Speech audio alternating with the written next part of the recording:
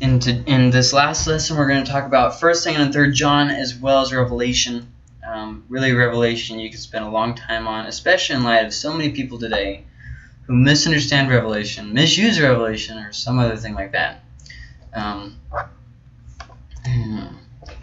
starting with First, Second, and Third John. The author is John, the elder of Ephesus, the um, the one of the twelve. Um, he died of old age. Um, by tradition, he was persecuted many times, but they were unable to kill him. Um, and so he was sent to Pat- the island of Patmos, and eventually he died of old age. Um, so the audience um, in First, Second, and Third John is then First John is the church of Ephesus, and Second John it's a it's a specific house church, and Third John is Gaius, one person. Okay. Um, so, um, the First, Second, and Third John date somewhere around uh, late '80s, early '90s, somewhere um, in there. Um, the context: Ephesus is troubled by false teachings, and we potentially see a, a degrading factor. I don't know if degrading is the right word, um, degenerating condition. Um, like here, right here, developing problems. It seems like there's false teachers dividing the church in the first one, but then you know they're out, and then but then by the second by second John, false teachers are attacking church from the outside. So maybe like they're trying to get back in, or they're trying to you know reassert power. And then in third John, maybe leadership is in uh, leadership is in church leadership in church in the church is false. Maybe it might be a, a, if they're if they're in chronological order, it might be a, a gradual um, um, degeneration, especially in light that in Revelations um, they have become stagnant. So, kind of possibility. Um, don't push this too far, but if that is the case, I mean, John did a lot to keep it from going wrong, and in the end, there wasn't anything that he could have done. See what I mean? Sometimes, as a minister, uh, the, I get this straight from, from Pentecost to Patmos. As a minister, you, you do the, the best you can, but ultimately, it's it's it's it's it's God who does the work. God who does. Remember, we we may water, we may plant, but it's God that causes the increase. Okay, so, but once again, there's obviously no definitive proof that it is in chronological order or that it is um, degeneration. Maybe it's just a, a, a bunch of different uh, problems that came up. We don't know. But whatever it is, um, Ephesus is really a central um, place, and is uh, a lot of the Bible goes to Ephesus. Acts, um, Ephesians potentially, potentially, uh, First Timothy, uh, First and Third John, Revelations is mentioned. See what I mean? Ephesus really seems like a really seems like a key place. So, um, so possibly possible degeneration of the issue. Um, now, if you compare John with First John, the Gospel of John, with the Epistle of First John, you really come to a very a very balanced theology of God. In John, um, it, it, he mentions Christ's deity, but in the in First John he emphasizes his humanity. He was fully human, but then in John he was fully God. Well, which one? Yes. Um, in, in, in John we have um, empowering believers to keep commands, but in First John we have reminder against claims of sinlessness. See the see the contrast there? First John is, hey, you're not sinless. But then in, in, in John we have believers being empowered to keep the commands. So very interesting there. In John we have eternal life, death, life or death beginning now.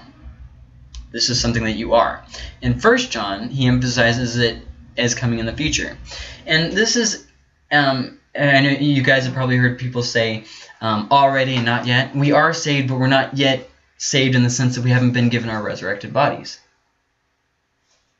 You know, um, once again with that. Um, uh,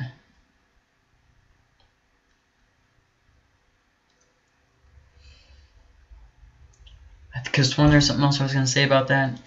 Um, so John kind of emphasizing the more um, here and now aspect of it. First John emphasizing the, the more um, end of the road aspect Because you can be saved and then abandon it, and you can also not be saved and think that you're saved, and then later come to um, repent to true repentance.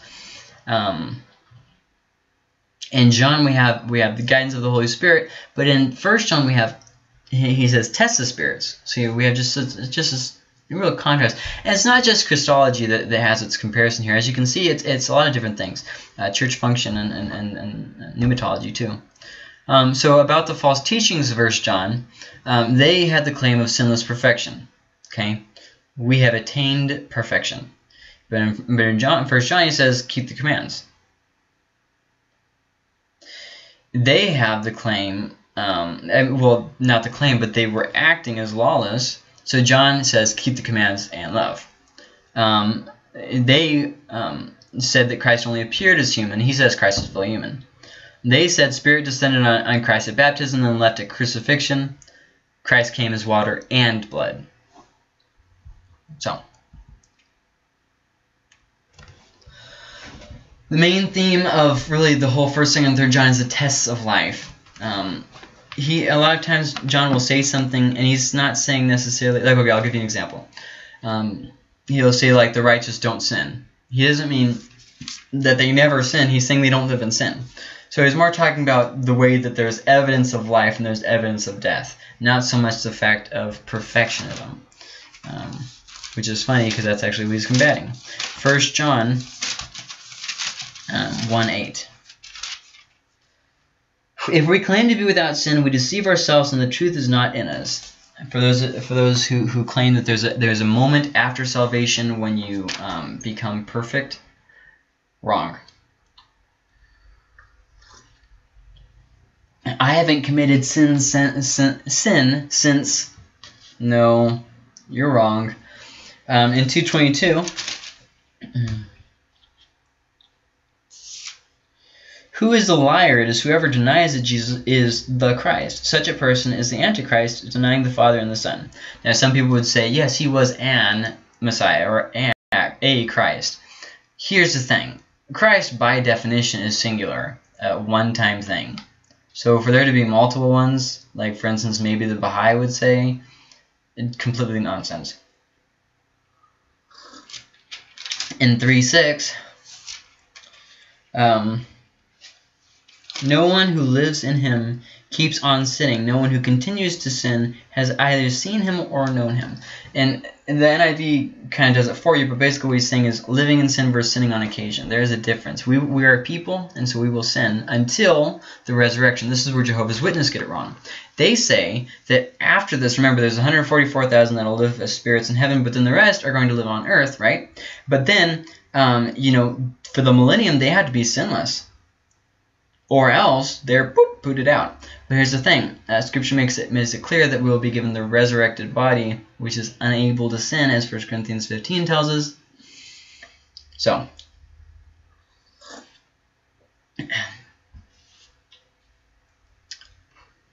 Okay. So that's all he's saying there. Um, 318. You know, I, I do highly recommend this version of the NIV. It's the it's a 2011 print, okay? Um, they were actually bought out by another company, and they made it very readable and very easy to understand. It's just a really good translation, in my opinion. Dear children, let us not love with words or speech, but with actions and in truth. Obviously, talking about truly loving one person. It's easy to say something, but to really do something and show it is a lot different. Oh, I love people. What about that person? Oh, they just have a problem with me, so you know what? They're just going to have to get over it. Well, that's not really loving them, is it? So 516 through 17. Um, you really, this is really kind of a, a, whole passage that goes together, but I'll just focus on 16 and 17. If you see any brother or sister commit a sin that does not lead to death, you should pray and God will give them life. I refer to those whose sin does not lead to death. There is a sin that leads to death. I am not saying that you should pray about that. All wrongdoing is sin, and there is sin that, that does not lead to death. Okay, so a lot of different things being said here. First off, pray for believers who, who are who stumble, not who are living in sin. But a, a, a, Christian, you see a brother or sister and they, and they mess up. What do you do? You pray for them. Now, he's not saying that your prayer will save them. He's saying that when as you pray for them, God will hear your prayer and He will work. Uh, once again, read the passages before, and He will work in that person's life. Um, and then he says, "I'm not saying you should pray about that." And later on, he says, "Well, I'm not saying you should pray about that." What he's saying is, don't. He's not necessarily saying don't pray. He's just saying, "I'm not addressing that." Okay, uh, that's not really what I'm talking about right now. Um, and obviously, you wouldn't pray in the same way for that person as you would for this other person. You know, for this for the Christian who, who's messing up, you you know you pray for them. But then for that person who's living in sin, um, John already said that that that proves that they are not um, a Christian, regardless of whether they ever have been. They are at this point not a Christian, um, as Christians don't live like that. The tests of life. Um, yeah, and so you'd have to pray differently. You'd have to pray for their salvation in that case um, or you know witness them or whatever. Um, so pray differently. But as Hebrews says, how can you lead somebody to repentance who is not being repented through Jesus, since Jesus is the only way to repentance? Um, so believers don't live in sin, but and then he, and then he goes on to say, all wrongdoing is sin, and there is no and and there is sin that does not lead to death. What he's saying here is all sin is bad. All sin is bad. However, though it is different when a Christian lives in sin as when he as when he stumbles. Sometimes we see our brother or sister stumble and we instantly hop down their throat. Obviously, being warned against. St. John 1 7 says, uh, I say this because many deceivers who do not acknowledge Jesus Christ as coming in the flesh have gone out into the world. Any such person is a deceiver and the Antichrist. Now, keep in mind, this is how the Antichrists work. Satan doesn't know when the end is. So there's an Antichrist we can figure at least one in every generation. Okay? Um, and But then there's a spirit of the Antichrist that's in the world, right? But then um, there are some people who act like an Antichrist because they have that spirit of the Antichrist. So um, I hope that that kind of clarifies it. But in Revelation specifies the, the, the actual the, the actual Antichrist, which only God knows who that will actually be. Um, but traditionally it's been associated with so many different people. More recently, I think President Obama was the last one to be called uh, the Antichrist. Um, the Pope was at one time during the Reformation. I mean, we could go down the history. Um, Emperor Nero was considered to be by some, etc., etc., etc. What you understand is that there it's not necessarily one person that he's talking about, just um, kind of an attitude. If anyone comes to you and does not bring this teaching, do not take them into your house or welcome them. Um, and he's talking specifically here about those who are dividing the church. See, some people, me for instance, a couple months ago, uh, read this and said, okay, so there's anybody who has a false idea or a false doctrine, you shouldn't allow them in your home. No, he's talking about there's these people, these false teachers who are getting to the church and the Christians are having fellowship with them. And he's saying, well, don't do that. These people are, so I would say like this. If there is someone in your church who is causing problems, do not associate with them. You will get sucked in. You will be changed. The situation will go from bad to worse. I mean, so many different things. Um, I actually witnessed this firsthand um, happen um, in a church I was serving at. Third John, John 1 8 says, We ought therefore to show hospitality to such people so that we may work together for the truth.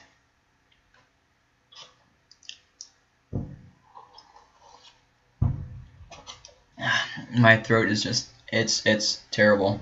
Um, you guys probably noticed not too many videos lately. My voice is just shot. Um, those who uh, lose lose for the sake of the gospel, we should definitely provide for. See, some people take this to the extreme and say we should provide for everyone. We should give money to everyone. Well, that's just dumb. No, just no. Um, he's saying he's talking about uh, people who have lost things because because of the gospel, and we who have should should make sure that they still have somewhere to stay, some some clothes uh, for their backs, uh, uh, food for their mouth. I mean, we should obviously be taking care of each other.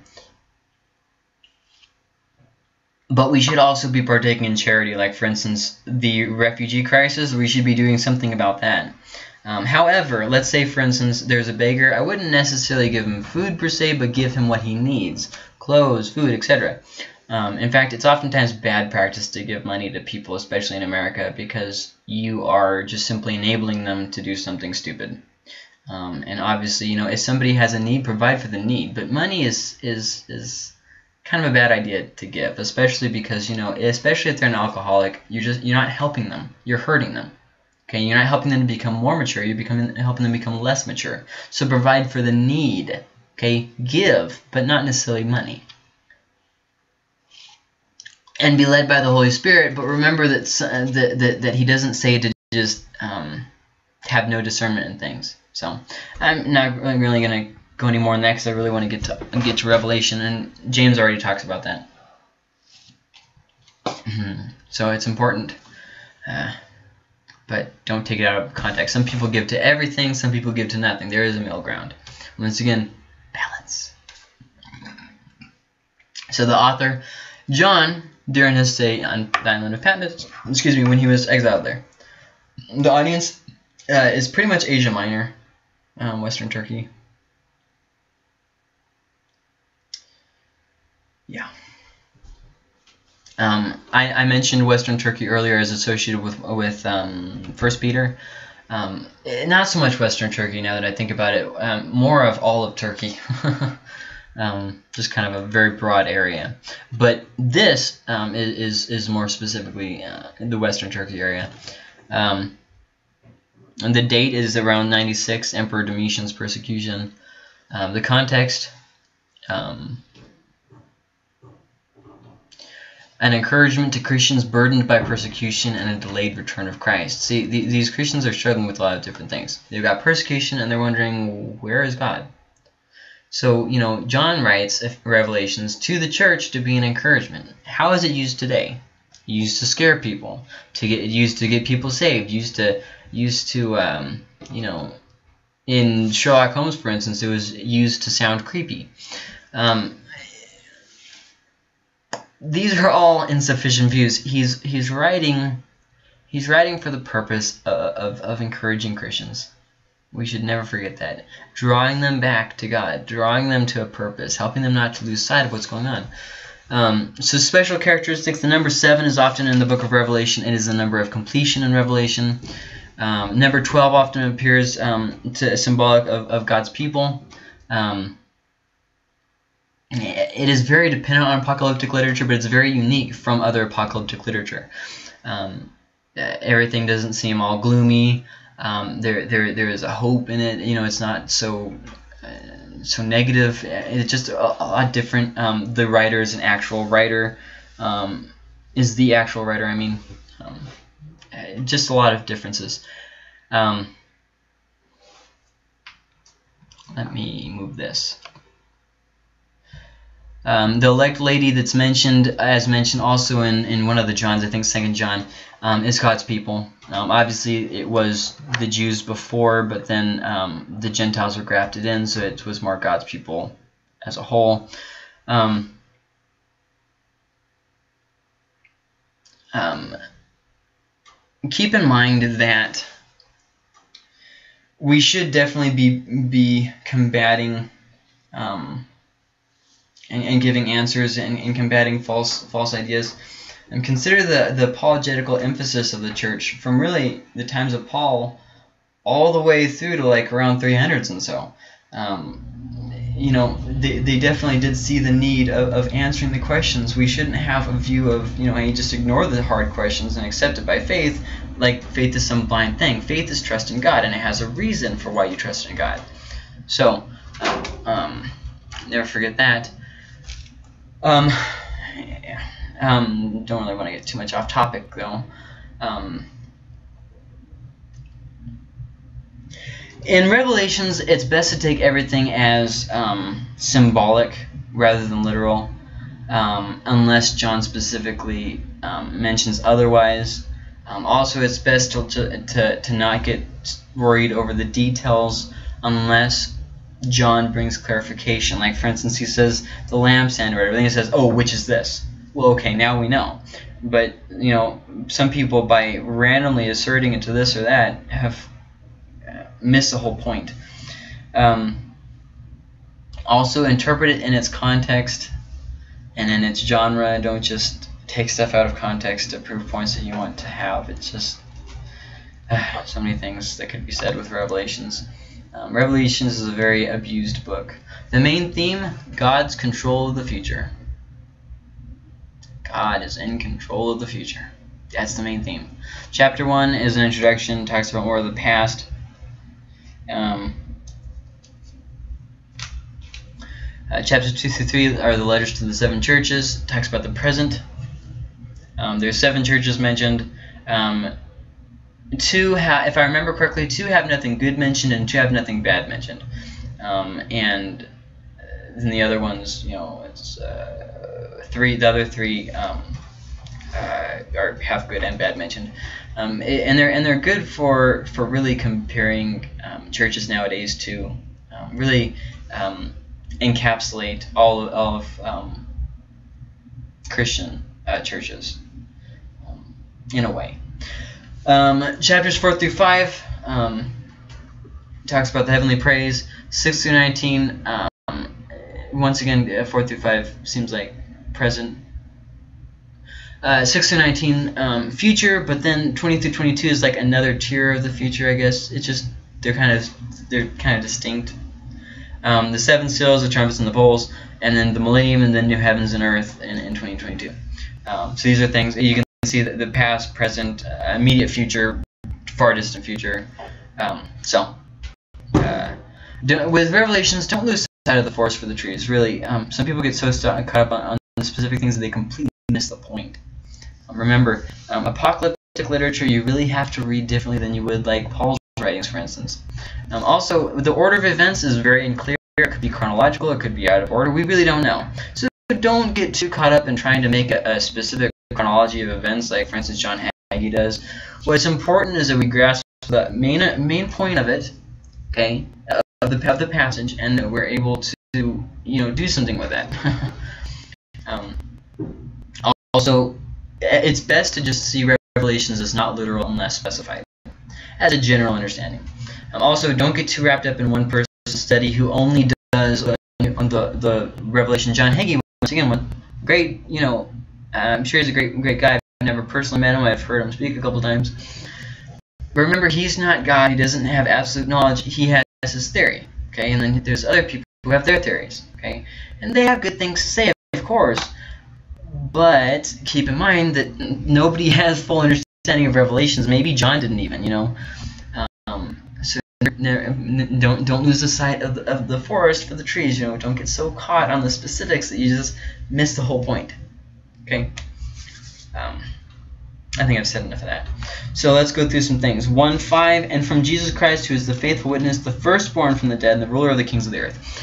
Now, Jehovah's Witnesses claim that this means that Jesus was the first created. Well, in context, that's not what he's talking about at all. He's talking about the first in resurrection. Jesus was the first to be resurrected. I mean, it's not that difficult of a concept. Um, 120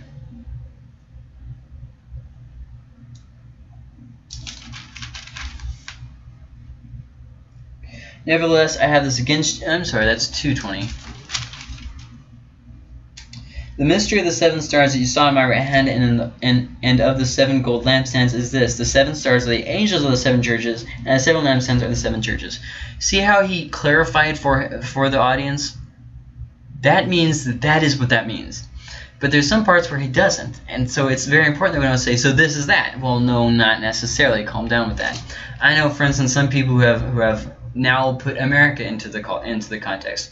Unlikely seems how America was even a thing back then. So you know, uh, once again, um, what did it mean to them then and there?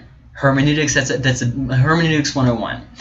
Always understand what it meant to the audience before you start uh, saying what it meant means now. So, um, it's there was a there was a theory at the time that there was there are angels that watch over the churches. You can see this even in Paul's teachings when he says, um, "For the sake of the angels," he's talking about for the sake of the, the angels who are watching over the church.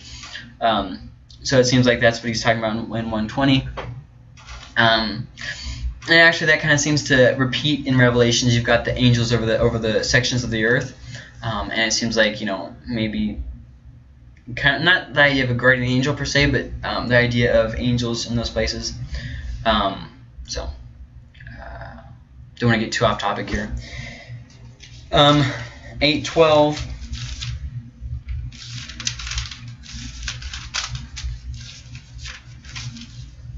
The fourth angel sounded his trumpet, and a third of the sun was struck, a third of the moon, and a third of the stars, so that a third of them turned dark. A third of the day was without light, and also a third of the night. Um,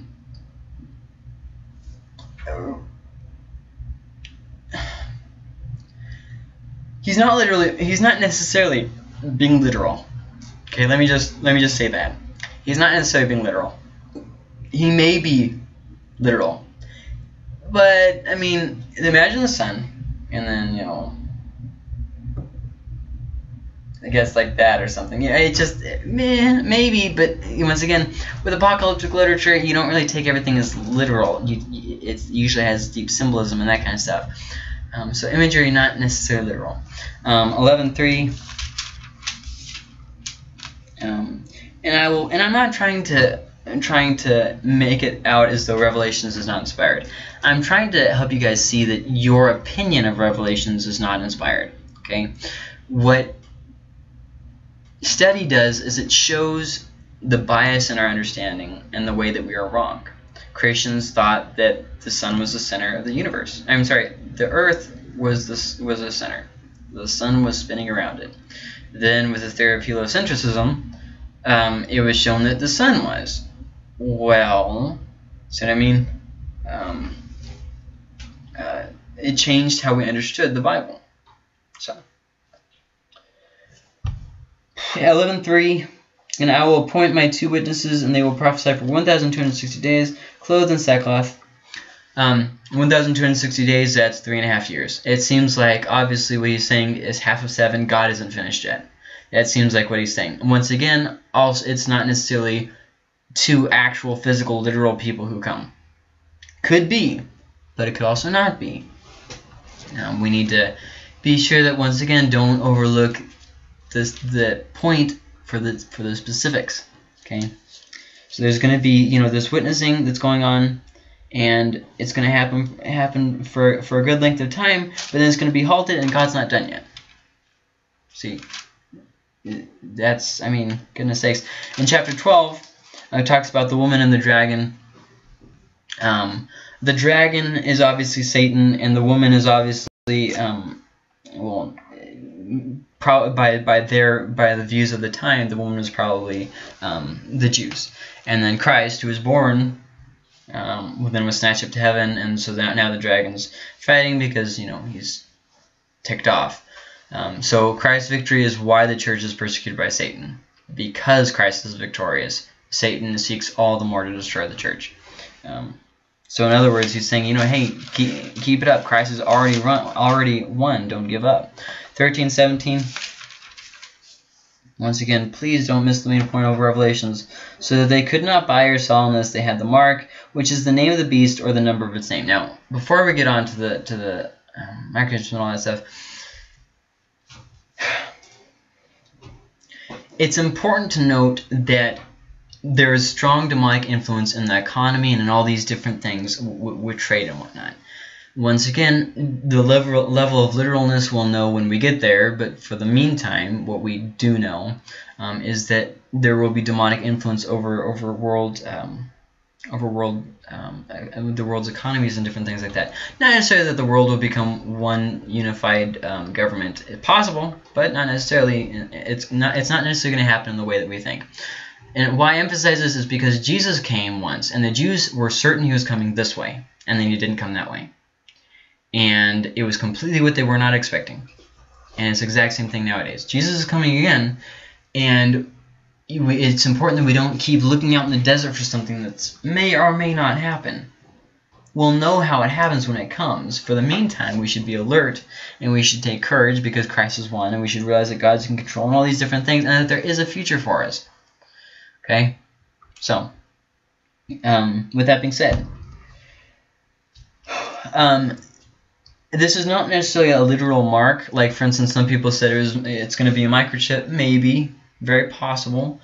Um, some people have said that it is going to be like a tattoo or something like that. Well, I, I guess that's possible. Some people said it's kind of like a credit card. You know, some people said this, some people said that. You know, it, it just, uh, it could be. Could, by all means, it could be.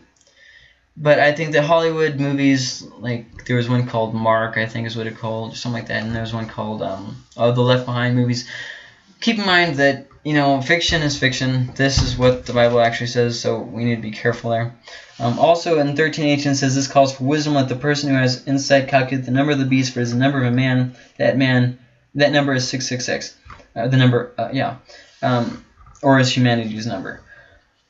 Okay, there's a few things. What is the symbolism 666?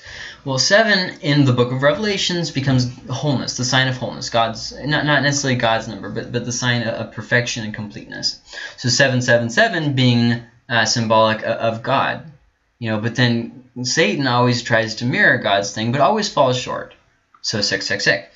Uh, some people have said that there's certain, like gematria or whatever the heck it's called, where, where the numbers mean something, except that Revelations was written in Greek and not in Hebrew or Aramaic. So there's that. Um, also, the audience was not Hebrew, they were Greek. So, or I should say pagan. They were not Jewish, they were pagan. So there's that too. Um, and they would have completely missed the point of the book. Once again, we can bet that John wrote things um, for the congregation of the day, although obviously he he there's a good chance he probably didn't understand everything. It's a good thing and chance that the church didn't understand everything, but that doesn't mean that he didn't write it for those people. So anyways, um,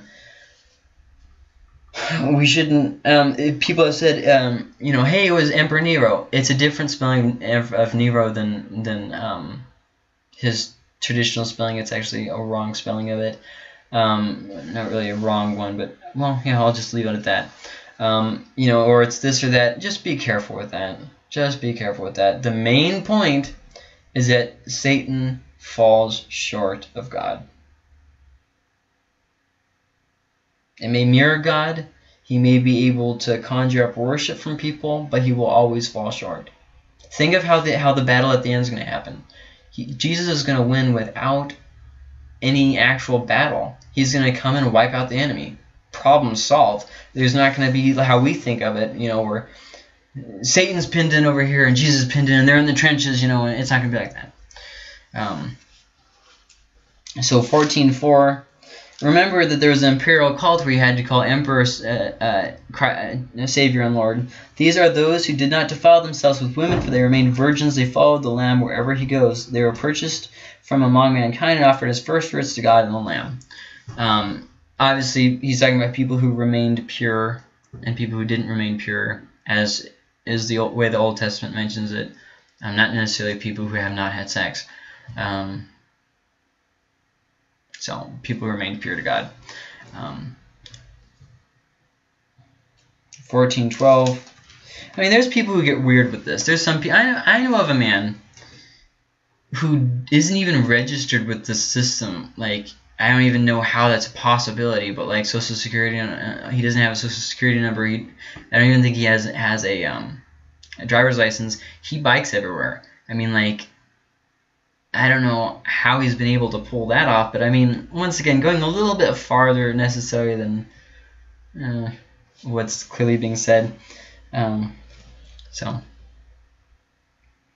this calls for patient endurance on the part of the people of God who keeps His commands and remain faithful to Jesus.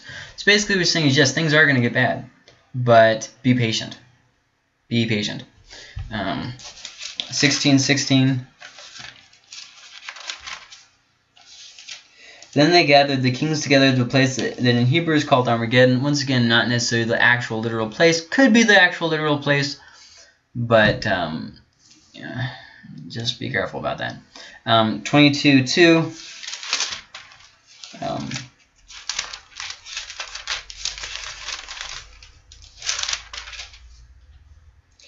you know, and there's some people nowadays who, who take like the, the, the Jewish rabbis and stuff that came after Jesus and you know quote them like, "Oh, the Jews really have things figured out." The Jews aren't saved. First off, the the only way to salvation is through Jesus Christ, um, and then second off, um, they came after Jesus, not before him, and we need to remember that. Um, and then not only that, but the the other rabbis that they quote that weren't after Jesus, the ones that were before Jesus, um, is they they were after Malachi, who was the last prophet. Okay, so once again, not inspired, and we do need to remember that. oh, there's this Jewish tradition. Yes, but just because it's tradition in the Jewish eyes does not mean that it's actual fact in Christians' eyes. Goodness sakes. Have a little bit more discretion than that. 22. 2. Down the middle of the great street of the city, on each side of the river stood the tree of life, bearing twelve crops of fruit, yielding its fruit every month. And the leaves of the tree are for the healing of the nations. And then in 5. There will be no more night. They will not need the light of a lamp or the light of the sun, for the Lord God will give them light, and they will reign forever and ever. Once again, the resolution of evil. Finally, the what about the problem of evil? It has been set right. The healing of the nations. The the um, the problem of evil is no longer real. In, in, in the sense, Revelations is kind of like anti-Genesis. Um, whereas Genesis, everything had a beginning, and we saw sin take its root. In Revelation, everything has found its conclusion. Sin is no longer a factor, and Christ is absolutely one. Whereas man and Satan screwed everything up, and, and Genesis and Revelations, Christ set everything right. Just complete the anti-Genesis. Um, any questions, uh, please post them below. And remember, please be aware of, of people with the end times thing. People, First off, people who study the end times alone, that's unhealthy. That really is. The Bible has a lot more to say than just the end times, okay? But then more so than that, um, you know, listening to televangelists as though they are the final authority is never a good idea. Listening to Jewish commentators as though they are the final authority is never a good idea.